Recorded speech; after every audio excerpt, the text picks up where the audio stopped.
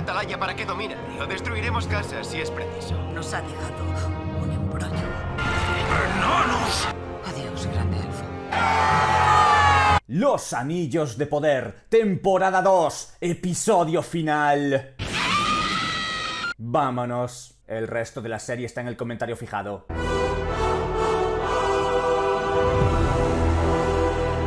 Empezamos en Enanolandia, donde Durin va a buscar a su padre que ha inflado a hostias a una cantidad importante de enanos que por alguna razón no pudieron engancharlo entre todos. Y se mete solo a la mina, lo cual me hace preguntar, ¿por qué carajos han hecho volver al ejército entero si pretendía ir solo? Allí el rey le está pegando a un muro y Durin apela a su fuerza para que se quite el anillo. ¿Te acuerdas de cuando yo era un renacuajo? Y echábamos un pulso. Me dejabas levantar la mano y entonces la estampabas contra la mesa. El discurso muy bonito, pero ¿qué haces apelando a su fuerza física en lugar de a su fortaleza mental o a sus principios y nobleza? Pero al padre se la suda y rompe la pared para encontrar Mithril. Y de nuevo, como ocurre rara vez en esta serie, esta es una escena que podría funcionar. Pero todo lo que ha llevado a ella ha sido mierda, por lo que el resultado se siente tan forzado como el inicio. Debería haberse dedicado tiempo a esta parte, para ver una transformación progresiva en el rey enano, y cómo la relación con su hijo va cambiando. Esto lo que pretende es que sienta algo que la serie no se ha ganado. Ah, y también.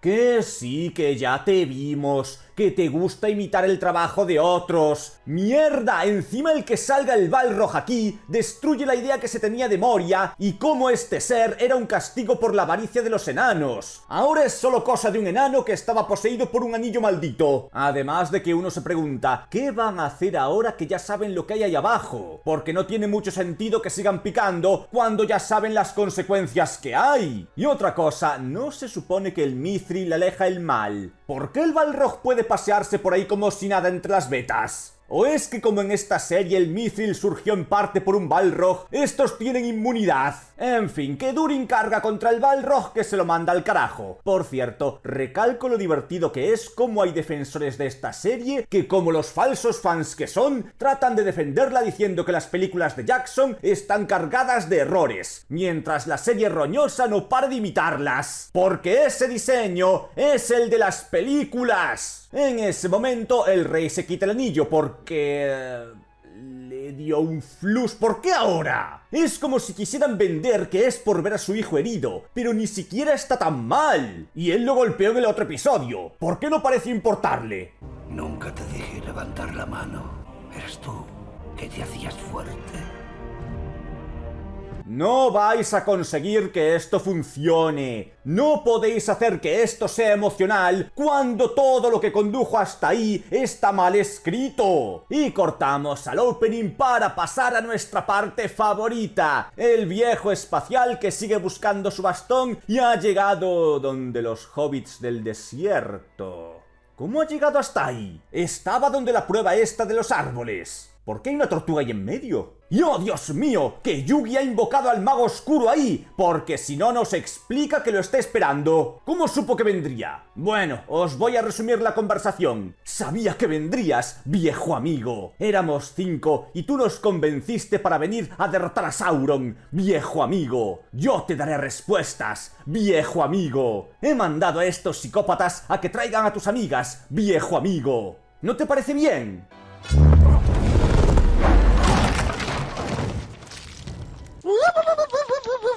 Y entonces todos los hobbits salen porque...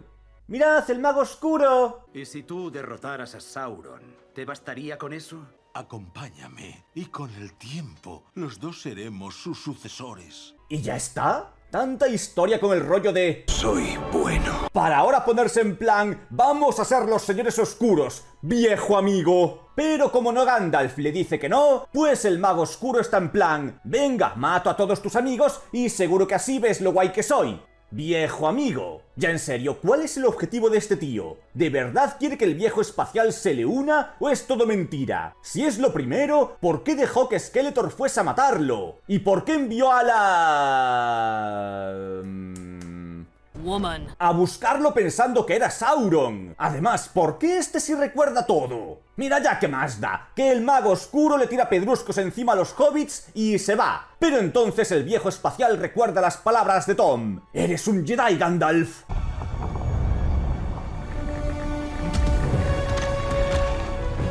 ¡Nori!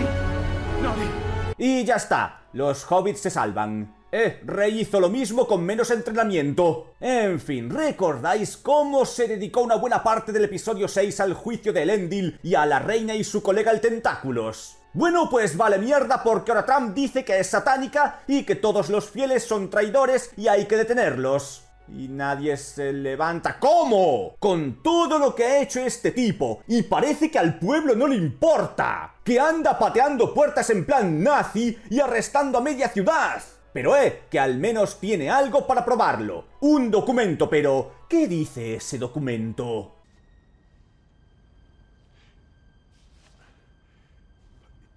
¿Sauron?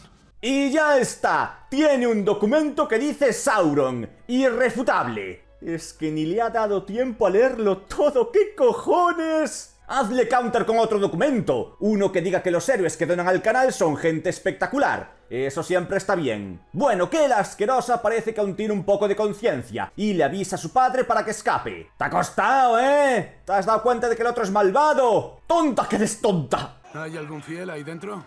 No, circula. ¿Quieres que informe a Arfarazón de tu insolencia? Circula.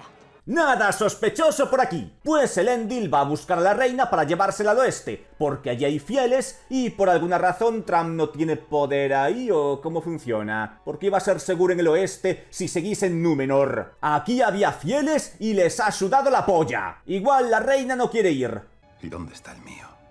Si no con vos. Se llama Narsil. Ok. Menuda manera más simplona de presentarte un objeto tan importante. Es como si se hubiesen olvidado y la hubiesen puesto aquí con calzador. No hagas la referencia, ahora vale mierda. Ah, y se me olvidaba. Allí hay fieles. Mi hijo Anarion, entre ellos. O sea que le queda otro hijo que no habíamos visto y que no se nos ha mencionado. Lo cual es curioso porque en otro episodio la perra de su hija dijo que habían perdido a toda su familia. Y resulta que aún tiene a otro hermano más vivo. ¡Consistencia! Y cortamos Eregion, donde los orcos están invadiendo. ¿Y por qué siguen disparando las piedras misil? ¿Y por qué ya no les afecta el sol a los orcos? ¿Y qué carajo está haciendo este elfo? Se ha tirado al suelo para seguir usando el arco en lugar de sacar un arma cuerpo a cuerpo. ¿Y quién ha matado a este? Pero no pasa nada, porque Galadriel está ahí evacuando a la gente, cosa que tendrían que haber hecho antes. Que tienen un túnel que va hasta atrás de la ciudad. Si lo hubieran hecho antes, igual y ni los hubieran descubierto los orcos. ¿Cómo los han descubierto? ¿Y cuándo? Porque como lo supieran desde el principio, esta batalla es 10 veces más estúpida de lo que pensábamos. Bueno, que Galadriel negocia usando los nueve anillos como cambio, aunque los orcos no deberían saber de la existencia de estos, por lo que no valen nada para ellos. ¿Y qué era lo otro? Ah, sí, Galadriel, podrías esperar alejarte siquiera 10 metros antes de entregar los anillos que te dejó Celebrimbor mientras dabas su vida para que escaparas con ellos. Cortamos para ver cómo Sauron le está tirando flechas a Celebrimbor. Pero mira lo que te has hecho. Acaba de mandarse un que no te pegues. Diría algo sobre eso, pero me está distrayendo el hecho de que para ser el Señor Oscuro con sus múltiples superpoderes, Sauron no es muy original en sus torturas. ¿Alguna vez has visto orcos en el fragor del combate? Los invade un arrebato. Unas ansias de sangre. Sí, unas ansias de sangre por proveer para su familia. No puedes soltar esto después de soltar esto otro. Los anillos de poder te destruirán. Preveo que uno solo resultará ser tu total perdición. Se ha visto las películas, estás jodido. Total, que Celebrimbor lo llama Sombra de Morgoth. Sauron se cabrea y lo mata. Qué poca paciencia. Y en ese momento aparece el orco de bien, a pesar de que lo vimos que se quedaba atrás en el capítulo anterior. ¿Eres Sauron? Tengo muchos nombres. Puta madre, literalmente le ha dicho eso a todo el que lo ha pillado. Invéntate una frase nueva. Cortamos al pueblo de los paletos, donde Númenor acaba de llegar. En fin, ¿por qué y por qué? Ni siquiera me voy a parar en esto, solo dejo el por qué. Este es Tío. Su madre era Bronwyn. Claro que sí. ¿Y tú quién eres? Puta madre más del inútil. ¿Por qué tratas así a la gente de la que quieres aprovecharte? Y más importante, Levantaremos la atalaya para que domine el río. Destruiremos casas si es preciso. tenemos que construir aparcamientos. Derrumben el hospital. Estos personajes se han convertido en un chiste. En fin, que se encuentra con Isildur. Y parece que todo va bien, pero... Ahora mi padre es rey y al tuyo lo buscan por traición. Podría haber sido peor. Si me hubieran hecho caso, ese idiota estaría muerto. ¿Por qué es tan innecesariamente malvado? ¡Esto parece una parodia! Y pues el tonto amenaza a Isildur y comunica que ahora esto es propiedad de Númenor y el que quiera quedarse tendrá que pagar con madera. ¿Por qué no pueden talar ellos los árboles? Cortamos con Galadriel, que va a ver a Adar, el cual está... rezando o sufriendo una resaca del carajo. Bueno, que Galadriel ahora quiere aliarse con Adar, y resulta que este se ha puesto el anillo, lo cual lo ha transformado en elfo, que es más elfo que la mayoría de elfos que hemos visto en esta serie. Y Galadriel está cachonda. Le ponen los guaperas malvados. Y además parece que a Adar le ha hecho... no sé, ver Vinland Saga y ahora es Thorfinn y no tiene enemigos. Solo busca la paz. Excepto por Sauron, a ese que le jodan. Así que llegan a un acuerdo, en el que promete volver a Mordor y vivir en paz después de matar a Sauron. Y todo parece que va a salir a pedir de Milhouse.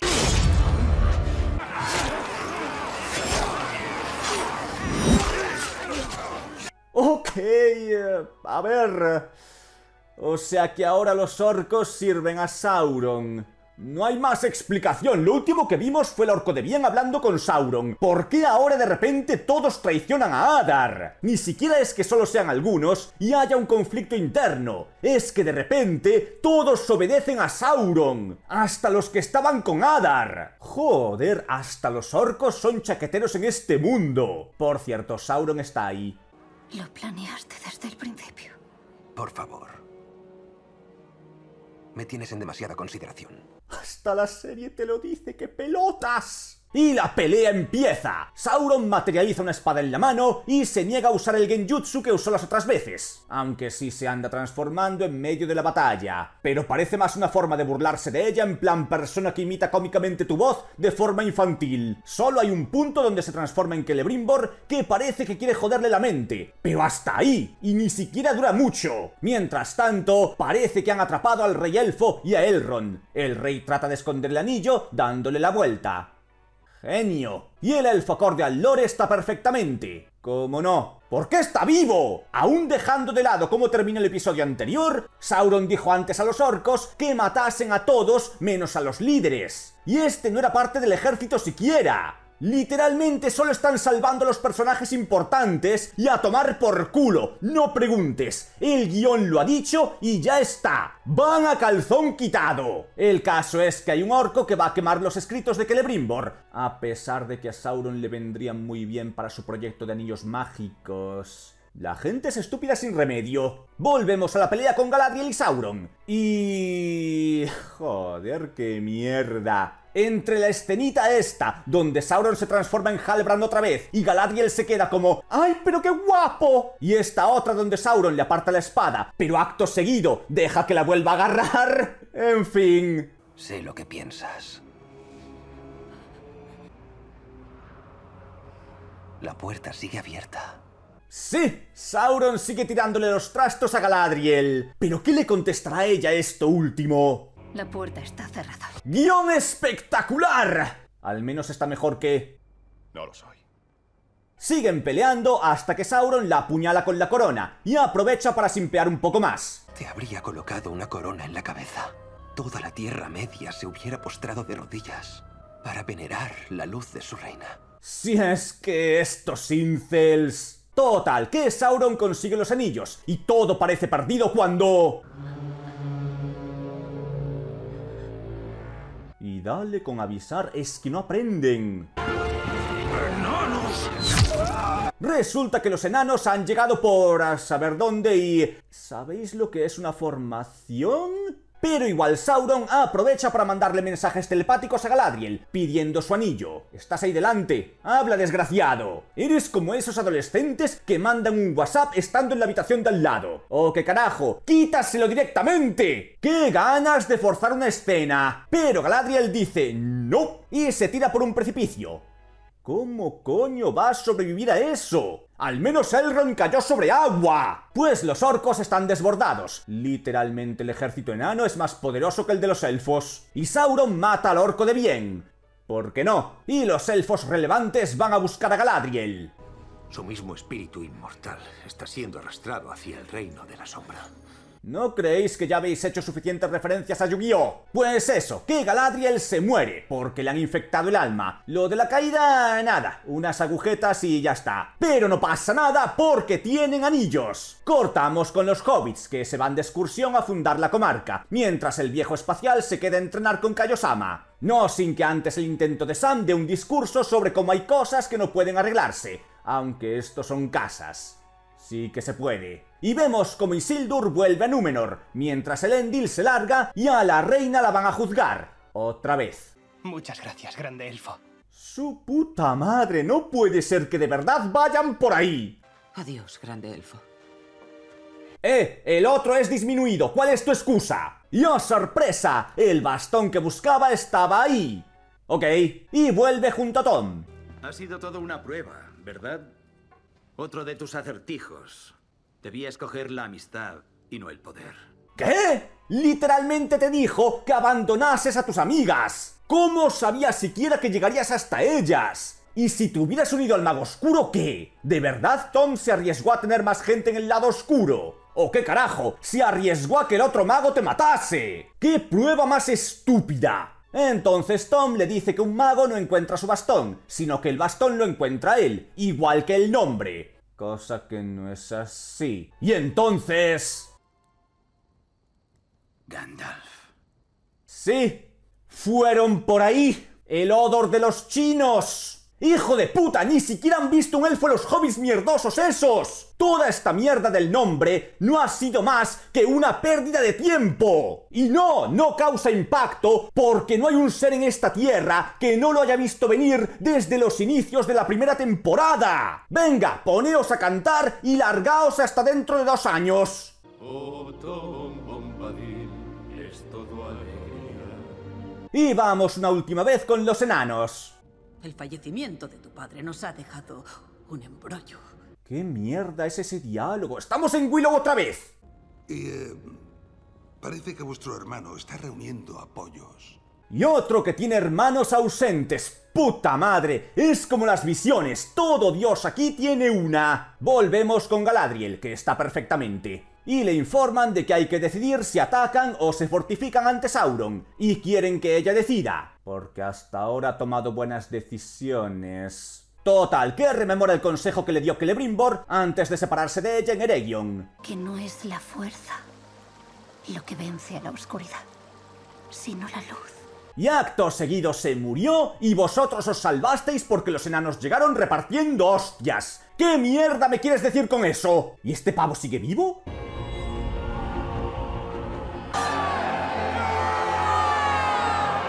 Oye, antes dijo Elrond que estaban desmotivados, pero me cago en la puta que fácil se vienen arriba. Eso significa que atacáis o defendéis. Bueno, mirad, es Rivendell. ¡Fin!